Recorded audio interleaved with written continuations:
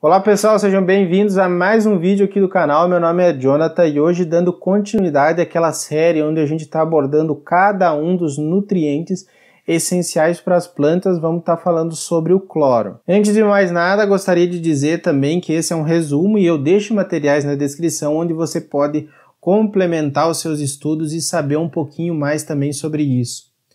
O cloro ele é um dos nutrientes mais facilmente lixiviados, tá?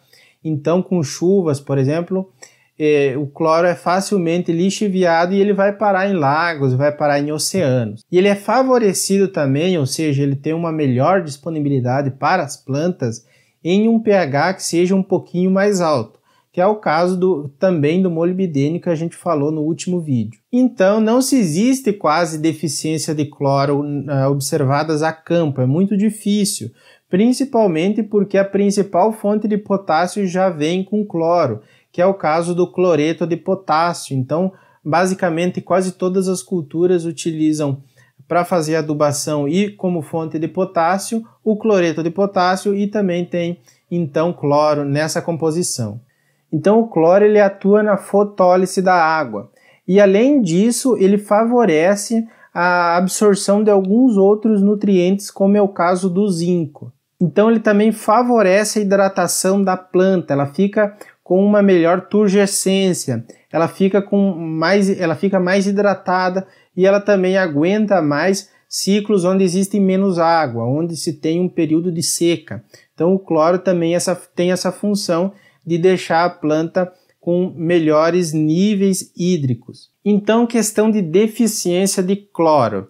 Em algumas plantas podem ter sintomas em folhas mais velhas, que é o caso, por exemplo, do tomateiro, do repolho, do alface, da beterraba, ou até mesmo em folhas jovens, que é o caso do milho e da abobrinha. E tem como por característica primordial, eu vou estar tá botando as fotos aqui do lado para você estar tá observando, que ele fica com umas características de clorose e também de bronzeamento nas folhas. Então ainda as raízes elas crescem menos com uma deficiência de cloro, elas podem ter um crescimento diminuído, também ter ramificações laterais dessas raízes diminuída e uma cultura que também pode sofrer mais com deficiência de cloro é o caso do coqueiro. O coqueiro geralmente está em regiões onde o solo é arenoso, lembrando que o cloro é um dos mais facilmente lixiviados e o coqueiro também tem uma necessidade de cloro, porque ele também tem uma necessidade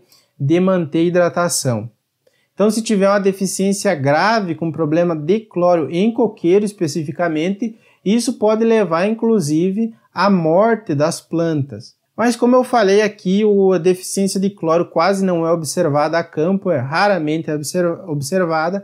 Em casos específicos, como o do coqueiro, se tem que ter uma observância um pouco maior quanto a esse nutriente. E a principal fonte de é, cloro é, como eu já disse, o cloreto de potássio. Basicamente, eles utilizam esse nutriente que já serve então para suprir as plantas, tanto com potássio como também com cloro. Então, gostaria de agradecer você que assistiu esse vídeo. Se não é inscrito no canal ainda, se inscreve, deixa o seu like, Confere os materiais na descrição para você se aprofundar mais, para você ficar sabendo mais sobre isso. E até um próximo vídeo. Tchau, tchau.